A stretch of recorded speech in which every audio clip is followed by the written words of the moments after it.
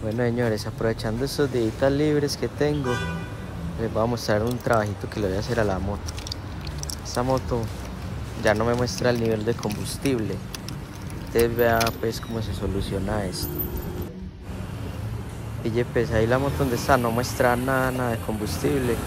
Pues igual la tengo bajita para poder hacer el trabajito. Pero como vemos la moto está mostrando nada, absolutamente nada. Bueno, pille pues cómo se hace esto. Vea, ahí se ve que está bajita de gasolina para poder hacer el trabajo. Aquí tengo una bomba de combustible que es para aprovechar las partes, sacarle partes dañadas. Esa partecita de ahí es el sensor de combustible. Con ese es que la moto marca el nivel de combustible. Ese repuesto lo podemos conseguir nuevo también. Yo se los puedo vender. Bueno, parceros, vean, con la ayuda de este pequeño rachecito vamos a hacer el trabajo. Vamos a necesitar también un cautil. Me tocó comprar otro porque estaba, ese se me dañó.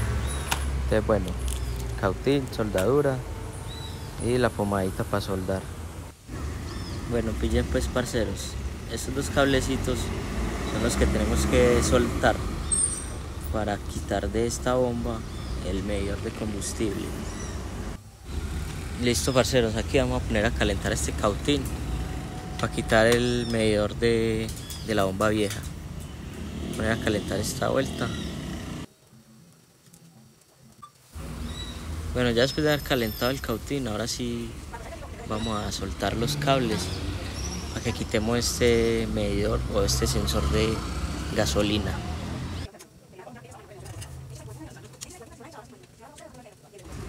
Listo, después de haber quitado los cables, soltamos este tornillo que es el que sostiene el medidor.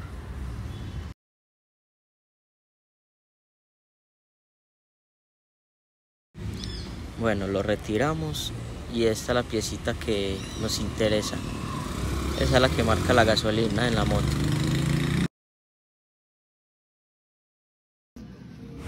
Listo parceros, salimos ya donde está la moto y vamos a quitar las zapas del tanque las sillas que cambiemos el sensor. Listo parceros después de haber quitado las tapas vamos a bajar el tanque para poder acceder a la bomba. Ahí está el conector de la bomba de combustible. Ahí está bueno la mejor manera para hacer este trabajo es tener la moto más o menos bajita de gasolina. Que nos quede más cómodo. Yo traje este tarro por si acaso pero no hubo necesidad. La gasolina no está no hay tanta gasolina entonces es lo mejor para poder hacer ese trabajo. Listo parceros aquí ya desmontamos la bomba de la moto mía y les voy a mostrar cuál es el daño que tiene el medidor. Si en las paticas que eso tiene por allá yo lo acerco un poquitico. Esas paticas que están están corticas ¿sí? ya les voy a mostrar en el otro medidor como debería de ser. Bueno parceros este es el medidor que vamos a montar. Y ya les voy a enfocar ahí las paticas. Vean las paticas de ese están más larguitas. Entonces cuando las paticas se parten de tanto rozar esas pisticas que se ven ahí deja de marcar el nivel de combustible de la moto. Entonces ya cambiando esto la moto queda mostrando bien el nivel de combustible. Bueno para no hacer ese video tan aburridor pues bueno básicamente lo que hay que hacer es eh, quitar el medidor viejo y soldar el otro que vamos a montar. Ahí lo hacemos rapidito para que no se haga muy largo. Ahí les voy mostrando Listo parceros, vea ahí ya quedó soldado el sensor de combustible. Ya la, la bomba quedó armadita ya lista. Lista para montar en la moto. Listo, aquí ya soldé el otro medidor de combustible.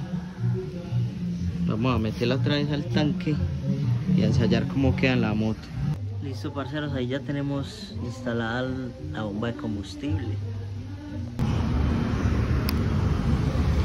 Listo, parceros. Aquí no está marcando nada de gasolina. Por lo que les dije, pues que, que la tenía muy bajita para hacer el trabajo. Pero de todos modos, como el otro medidor me mostraba ese, mismo cuadrito entonces voy a echarle gasolina aquí estoy en la bomba entonces voy a echarle gasolina y ya les muestro cómo queda listo parceros ve ahí ya le eché gasolina y ya subió la gasolina. Entonces quiere decir que quedó le eché 20 luquitas y ahí subió